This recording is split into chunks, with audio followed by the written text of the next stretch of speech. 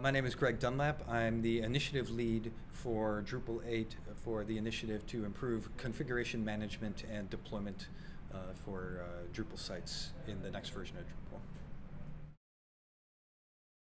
So essentially, I'm a project manager when it comes right down to it. I uh, helped organize a group of people to design a new configuration management system for Drupal. And we wrote a spec and put it out to the community for discussion and then started writing it and building it. Um, most of the code is not actually being written by me. It's being written by other members of the community and uh, being put forth for review by the community. And mostly what I'm focusing on is what we are calling cat herding these days, getting people together, um, guiding discussions towards resolution, um, putting together ideas, soliciting ideas from people who I think might have interesting things to say, trying to make sure that the system moves forward in a reasonable way, and removing blockers for the people who are actually doing all the real work. Um, so traditionally, one of the biggest pain points in Drupal development in all of the past versions of Drupal has been the fact that um, because Drupal's configuration and other information is stored in the database intermingled with the Drupal content, it's been very difficult to do something like build, um, build uh, advances or new features on an existing site and push them forward without erasing all of the content that's already there.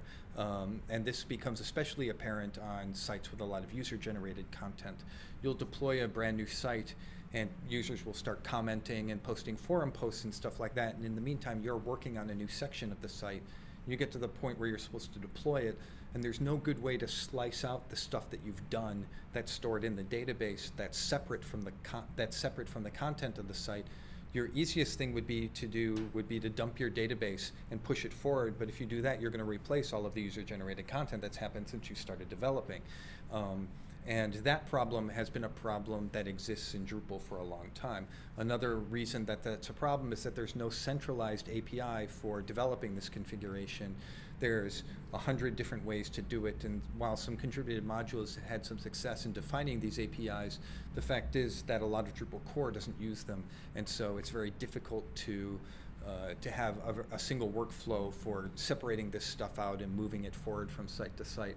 So um, what we've done as part of the initiative is we've defined a new API and system for storing configuration that's exportable to files them, and these files can be deployed to a site and re-imported, and then your configuration can be replicated on the new site. And there's a, and there's a definition for how the files should be formatted, and an API for interacting with these files, and for responding to changes in the files, because sometimes you'll have a module that needs to respond to a specific piece of configuration being loaded, or even your module may need to respond to another module's configuration being loaded and all of this kind of thing. And so designing all of that, building the processes by which it can uh, work, integrating it with Drupal's multilingual and, and language handling system and all of these kinds of things so that when we get done, we'll have a really robust solution for solving what is really the biggest pain point for Drupal developers that's existed in the last five years. I mean, one of the biggest things is that we're all volunteers and, and there's no bosses, right? I can't give anybody orders on what to work on necessarily. There's a lot of people who are interested and we all have a common goal, so we all work together in general. But I mean, if one of them wants to break off and say, I think that what you're developing is terrible, I'm going to develop an alternative and see if I can sell it to the community, there's ultimately nothing that can stop me from doing such a thing. Um, I can try to explain to this person that that's really counterproductive to everybody's goals, but nothing can stop them from doing that all they want to. It's very difficult to put together scrums and timelines and milestones because again we're a volunteer community and a lot of people sort of come in and out of core development as they can based on their work schedules. You know a lot of people will take their two or three weeks in between projects come and do some work on core but then they disappear. Um, so there's not a lot of reliability in the in the um, people who are helping you out in general. Um, some some of the groups get lucky and they find somebody who has a regular piece of time every week to work on something and they come and volunteer and they become sort of lieutenant or or a second in command kind of thing um, helping uh, more lower level issues move on. And I've seen some people get they have weekly meetings and define priorities and blah blah blah and all that kind of stuff. But that situation is reasonably rare. Um, and so that's been a big problem um, as well Um, the distributed nature of the community is a problem simply for things like time zones, getting people together to have discussions. Um, we, we have uh, bi-weekly meetings of all the Drupal initiative leads, and uh, they're in Taiwan, the West Coast, the East Coast, and Europe. And finding a time that works for everybody is literally impossible. And so um, just getting everybody together in the same room to talk for a couple of hours is really difficult.